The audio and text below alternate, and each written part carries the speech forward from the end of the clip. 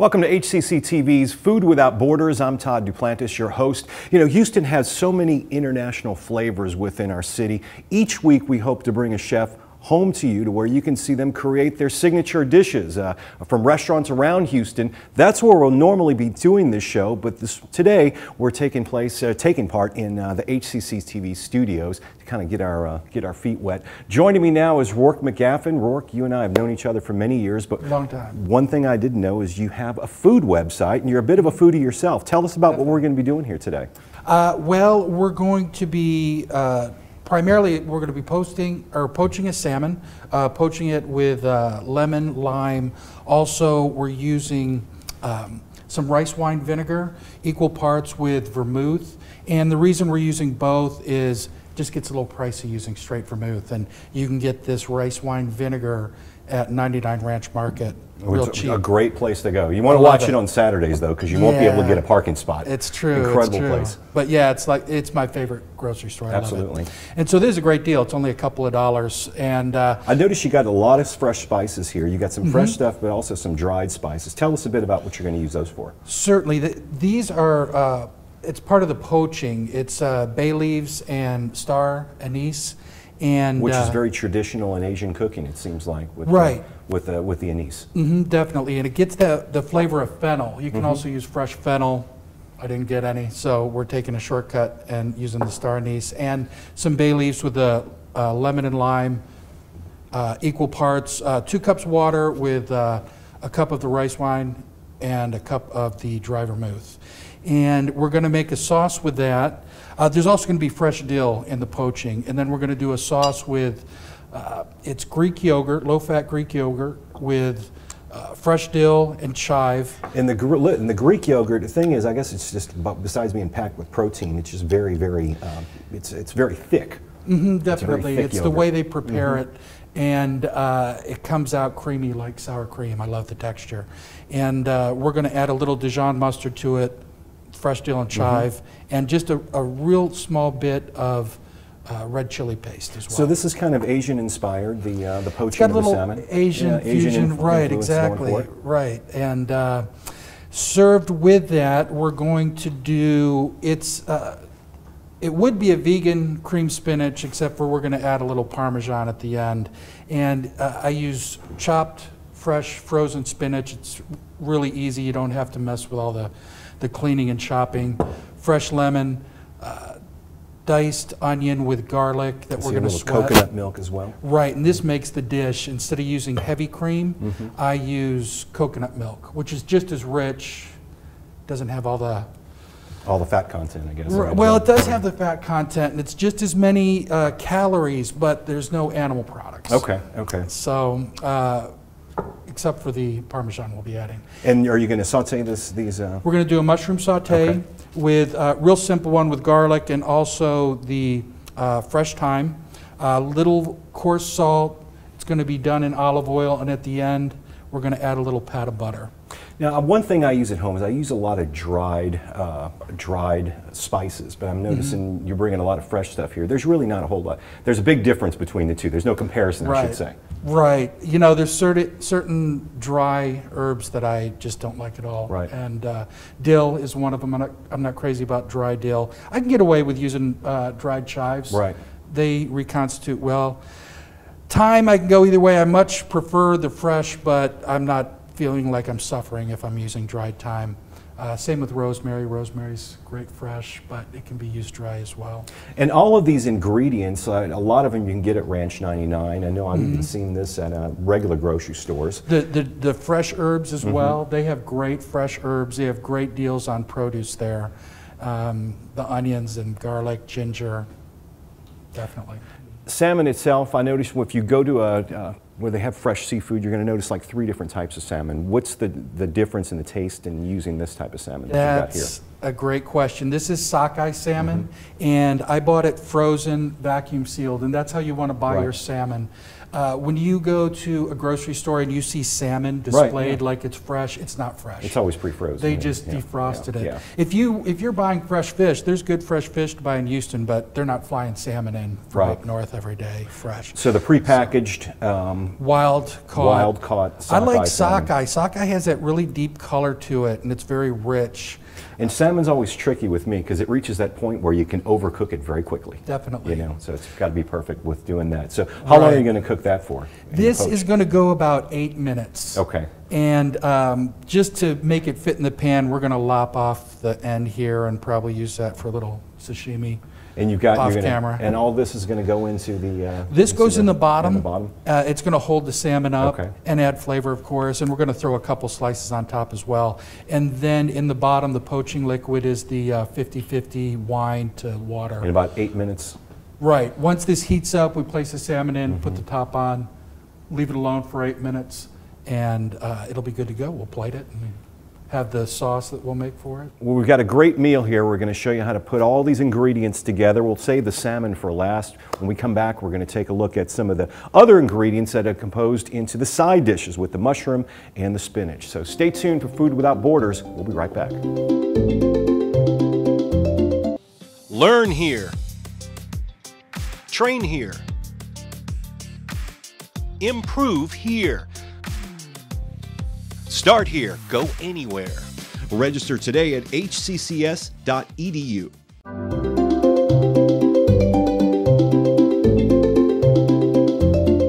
Welcome back to Food Without Borders. We've got some poached salmon we're going to be cooking up in a few moments, but first we're going to talk about the side dishes and get them underway. Rourke, Rourke McGaffin is here with me. Rourke, tell me about the first side dish we got. I know you got some spinach and some, uh, also some mushrooms. Right. We're going to start with the mushrooms, and uh, but while the mushrooms are cooking, we're also going to saute the onions because they need to be sautéed for the spinach before they can before we can start the spinach. All right. But to start, the very first thing I'm going to do is start to heat the uh, poaching liquid for the salmon. And once again, the liquid, you've got rice wine vinegar, also some vermouth, Right, done half and half. It's a cup of each. Okay. We have mixed, and then two cups of water. two cups of water, so four cups altogether. Right. Okay. Mhm. And, And this, this piece of salmon is about how large is this? About a pound and a half? Uh, I think it's close to two pounds. Two pounds? Okay. Yeah, I didn't. You know what? Honestly, I didn't even look, but I, I know from the price it was probably about two pounds. Now, I know you have a website where you actually teach people these recipes. Right. Know, tell me a bit. I, in fact, I saw one of your, your, your recipes on there. You posted it in social media a couple of weeks Mm-hmm. back. But tell me about what inspired you to do that.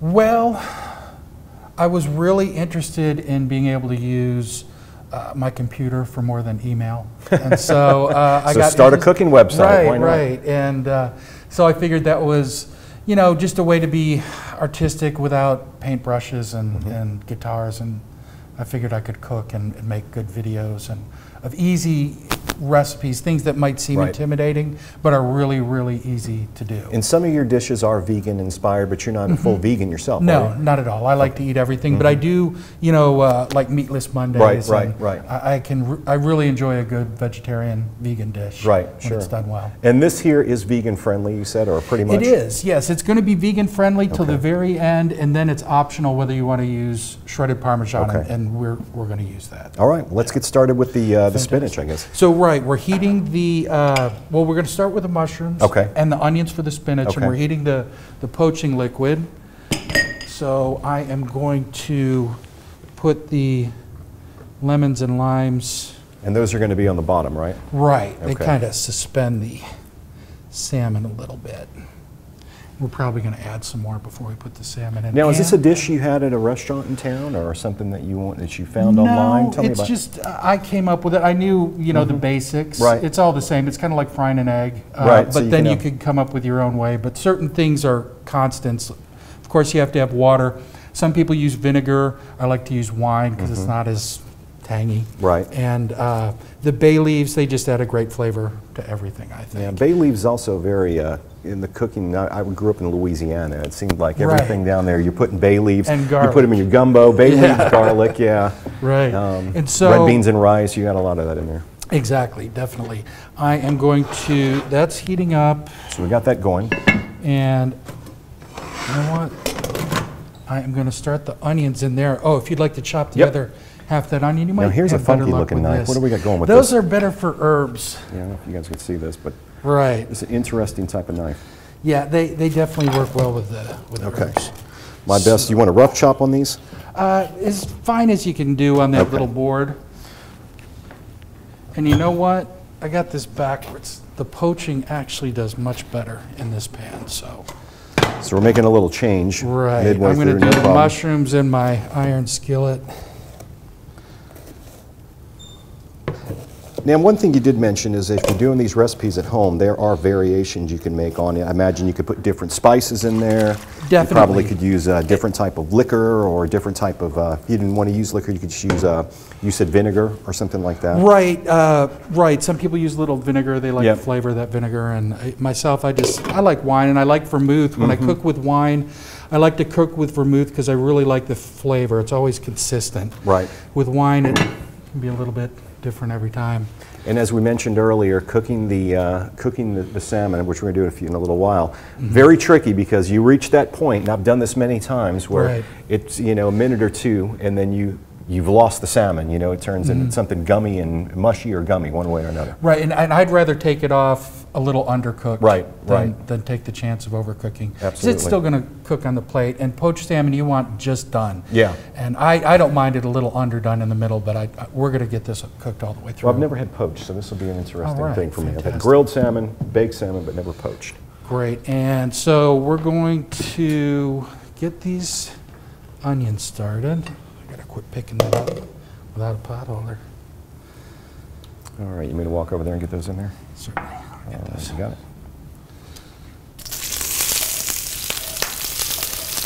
And you definitely want to hear that, that sound right when you put them in there, otherwise the pot's not warm enough. And, and another thing too is, you know, you really want to heat up the pan Mm-hmm. before you put in the oil.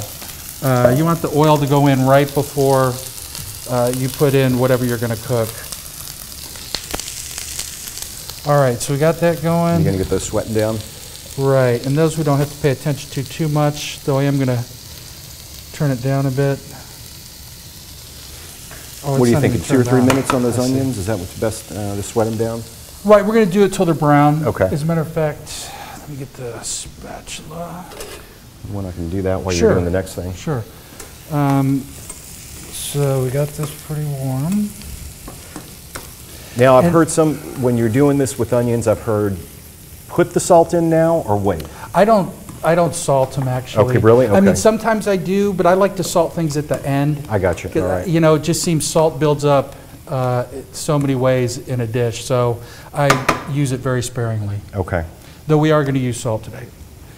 And if you don't mind moving that oil around Yep. a little bit there. And you want the, for the mushrooms, you want the pan good and hot, because we want to, we want to brown the sides of the mushrooms. And also, these mushrooms, you can see the caps are still attached to the stem, which is how you want to buy mushrooms. They want to be mostly white. um, And they don't, you don't want a lot of gills. That's what you're trying not to get. Um, A little bit is okay. Now, which, what, are those baby bellas or which ones are those? No, these are just regular button mushrooms, Okay. um, medium-sized button mushrooms. But, uh, yeah, they're great domestic mushrooms. They're great for sauteing. So I haven't used this before, so I'm going to throw in one. No, we're not hot enough yet, so we're going to crank that up a little bit. I think we're gonna go This way, is that right? Should be that one. There we go. All right. Okay. So we'll let that set a minute. And let me get that other pot for the spinach. Now, the mushrooms are gonna, they're sauteed and they're gonna have a sauce on them, or what exactly are we gonna do? No, uh, at the very end, near the end, we're going to add the garlic that's uh, we have cured in olive oil. Mm-hmm. And we're also going to, right at the end, when we're turning off the stove, the stovetop, we're going to add the butter, just so it melts just a little bit. You don't want it to melt too much.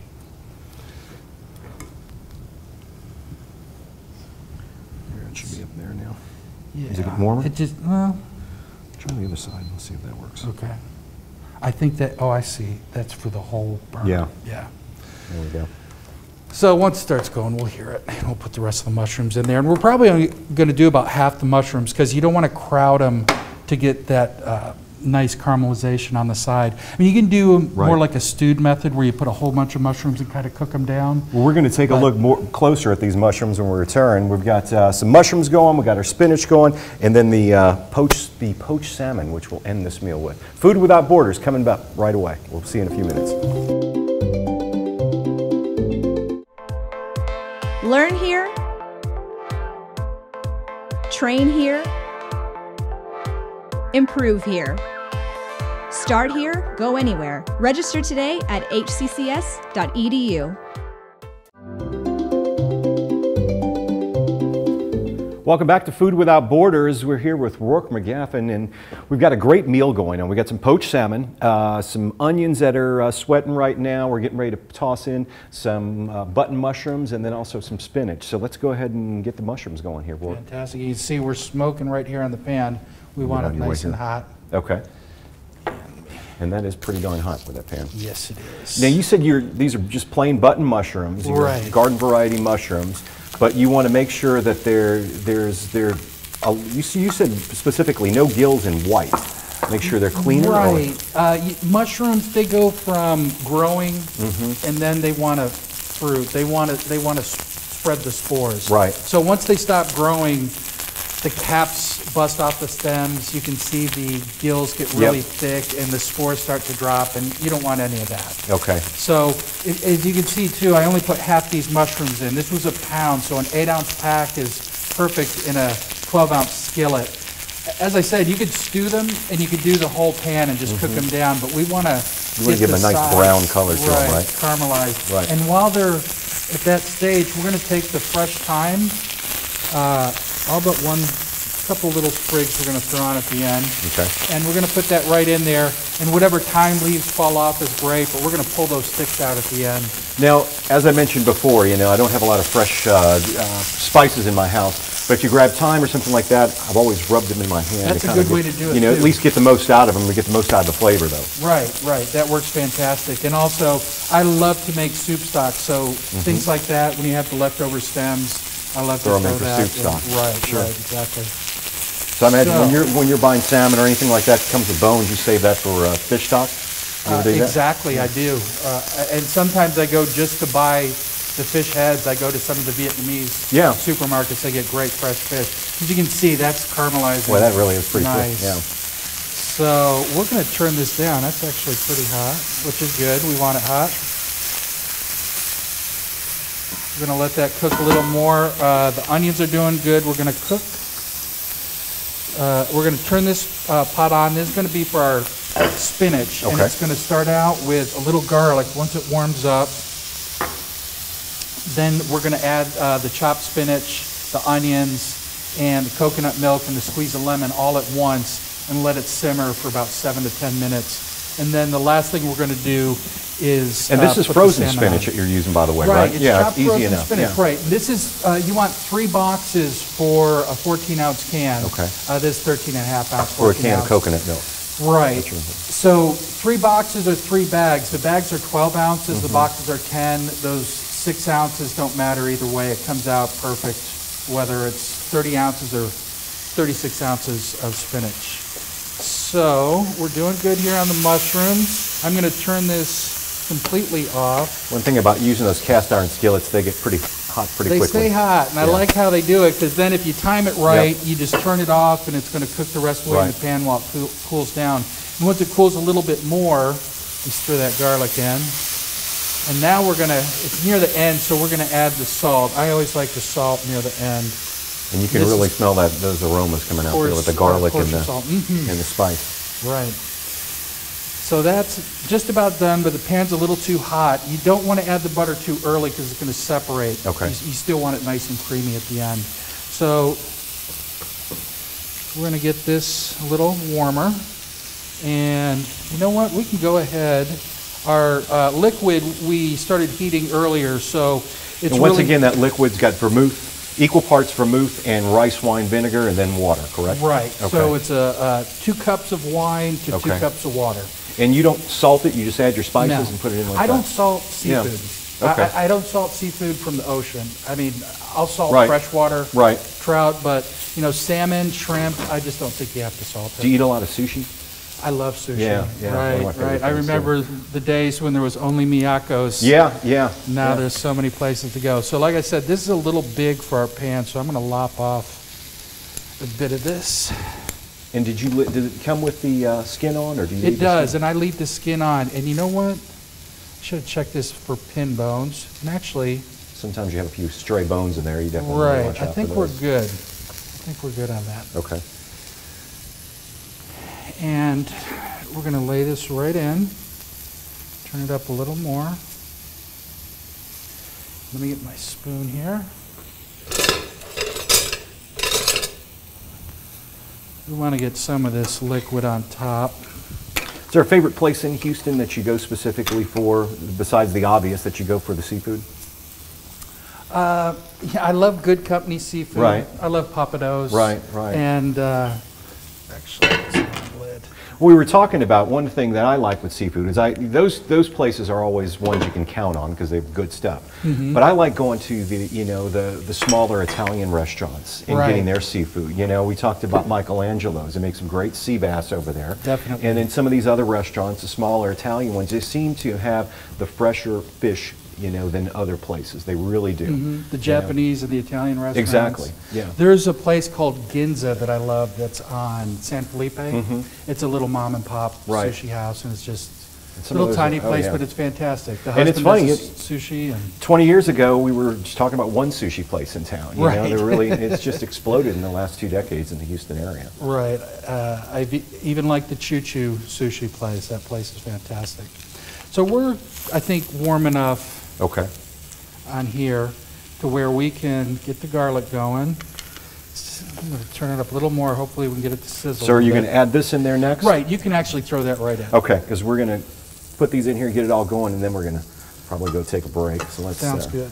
put that in there. And you just let that cook down, or do you need to put the Um, coconut milk in yet? We're going to put in the coconut milk and we're going to put in the onions. Okay, so we'll go ahead and add that here. And you, And uh, also, we're going to squeeze a lemon in there, but let me get a, I got a little sieve we can squeeze it through right over Okay. here. well, this does smell incredible. Oh, It really does. All right. You can, you can have the honors of that Certainly. there. and one thing wh- I forgot to mention before we did this, you want to squeeze out all the liquid you can out of the spinach. Okay, You want to press it through either a bigger sieve like this or a uh, larger one. Right. Well, I also have it's it's called a a chinois or a soup strainer, See, I was hoping we were going to get that on camera. This thing's incredible. and I should have shown that, but I, I we uh, I got in a hurry and Well, we got our food going here. We're going to go ahead and we got our poached salmon, our, our mushrooms going. We're going to do the sauce and uh, get the spinach ready and serve it up in the next segment. Stay tuned to Food Without Borders.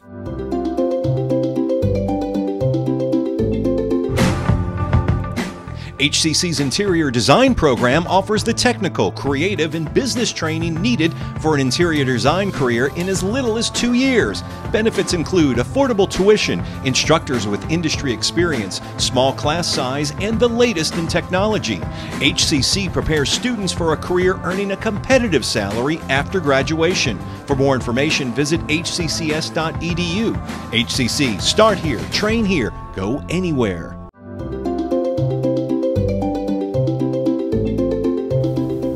Welcome back to Food Without Borders. We're in HCC TV studios at our set for Food Without Borders. We're going to be taking the show out on the road. You know, we got lots of different restaurants around the be city exciting, and yeah. letting folks know how to make signature dishes. Rourke McGaffin, our celebrity chef, here with us today. You're going to be doing a segment on Food Without Borders in the future where you'll be making uh, dishes with our students here at HCC. right. Looking forward to it. Yeah. Right. We're going to do some real you know basic dishes, just things that are quick and easy, Cool. traditional. So this will be your set in here.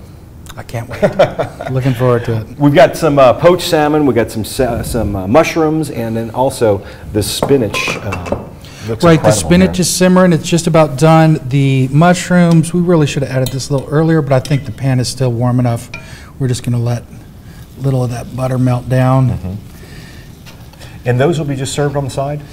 Uh, right, exactly. Okay. It's going to be one of the side dishes. Okay. We got that, uh, and I didn't do anything for carbs, so I, I just uh, brought the pita bread from uh, Phoenicia. So this is simmering. Uh, it's nice and bubbly. It's been going about seven or eight minutes. And once again, that's got coconut milk, frozen spinach, a couple of packages, or three packages. It's Three packages, uh, got some caramelized onions and some lemon juice. That's about it. And, and the garlic, And right? the garlic, exactly. yeah. And it's Mhm. very simple dishes. All these dishes are very simple. If you think about it, this is a half-hour show, and we pretty much prepared all these on Exactly. camera. Right. So you could make this for your family within half an hour for dinner time. You have all the Right. ingredients together. And one last thing, I like to salt at the end, so we're going to add the salt. A little in uh, the mix, and then we're going to go a little on top at the end. Okay. So we got the, I'll do that if you want to get started with this Okay. um, sauce. 'cause that's we're- going to go in Okay. right there. And Turn our this on. sauce, we are going to go the uh, Greek yogurt. We're going to go just a tiny bit, it's like a half a teaspoon of Dijon mustard. And also. Very simple sauce. a tiny bit of uh, the chili and a lemon zest. We're doing the zest because if you use the juice, it breaks down the um, the yogurt. It's going to separate. But if you Okay. use the zest, you get that fantastic lemon uh, flavor without affecting the yogurt.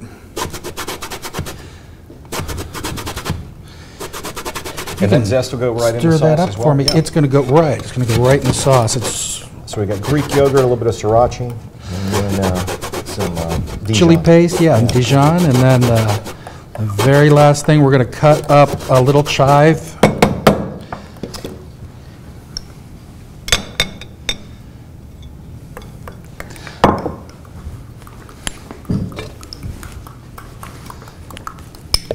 And I imagine you could make the sauce up ahead of time before you do the dish. And Uh, It's true, though, um, fresh herbs, I like to cut them maybe right before you're going to use them. Right, then you could do exactly. the, the uh, yogurt and the, the wet items, and then just put the, the herbs in right before you serve Mm-hmm. it. Yeah, it really releases the flavor. And you've got some dill and looks like just chives in this one. huh? Dill, exactly, dill, chive, lemon zest, little chili paste, Dijon mustard, and the Greek yogurt. So this is going to be on the side, just in case somebody wants that with your salmon. So poached salmon. That salmon looks incredible. Oh, fantastic. And the smell of it is just incredible as well. And the Does cheese go on top of here? It does go on top of there. A little bit of Parmesan cheese? Exactly.